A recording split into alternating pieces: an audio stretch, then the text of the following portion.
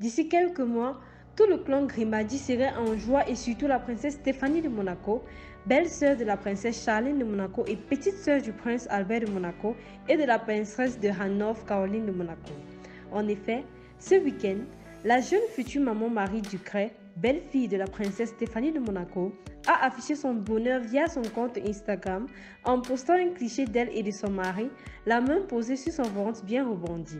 Un magnifique moment qui montre à quel point le jeune couple de Monaco se languit d'accueillir leur future petite princesse. Toutefois, l'arrivée de ce nouveau bébé va les ravir de joie. Dans environ deux mois, le fils de la princesse Stéphanie de Monaco, à savoir Louis Ducret, deviendra papa pour sa toute première fois avec la naissance de sa petite princesse. Une petite fille plus qu'attendue sur le rocher, notamment par ses adorables parents qui ont d'ailleurs posé ce week-end sur Instagram.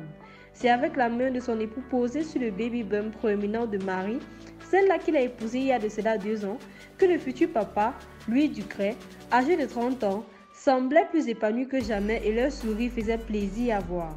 Une magnifique photo qui a permis à de nombreux monégasques de remarquer à quel point le ventre de la jeune future maman continue de s'arrondir et qui fait plaisir à voir. D'ailleurs, les fans du couple ne s'y sont pas trompés et parmi les commentaires laissés par ces derniers, on pouvait lire comme vous êtes tous les deux beaux, vous êtes un couple magnifique, félicitations.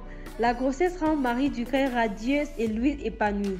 Pour le moment, les sœurs de Louis Ducret, à savoir Pauline, âgée de 28 ans, et Camille, âgée de 24 ans, née d'une seconde union de sa mère, n'ont pas encore réagi à cette publication, mais les deux jeunes femmes, très proches de leur frère aîné et actives sur Instagram, devraient bientôt y laisser leurs jolis petits commentaires. Cependant, il faut avouer qu'elles sont hyper pressées de devenir enfin tata.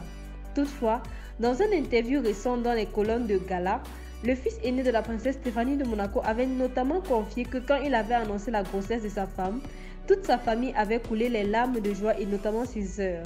Et si ce nouveau rôle fait un peu peur à la princesse Stéphanie de Monaco, elle pourra toujours demander des conseils à sa grande sœur, la princesse Caroline de Monaco, qui a déjà ses petits-enfants qui doivent l'avoir bien entraînée. Ainsi, cette petite princesse qui verra le jour dans quelques mois n'est pas la seule tête couronnée à naître en ce début d'année 2023, car la grande duchesse héritière de Luxembourg, à savoir Stéphanie, devrait également donner naissance à son deuxième enfant en avril, après son petit Charles, qui aura d'ailleurs 3 ans en mai. De plus, Eugénie, la nièce du roi Charles, quant à elle, aura son deuxième enfant également cet été après Auguste, âgé de 2 ans. Dès lors, en attendant l'arrivée de cette magnifique princesse dans la famille Grimaldi, dites-nous ce que vous en pensez des futurs parents Louis Ducret et son épouse Marie. Merci une fois de plus et comme toujours, restez scotchés.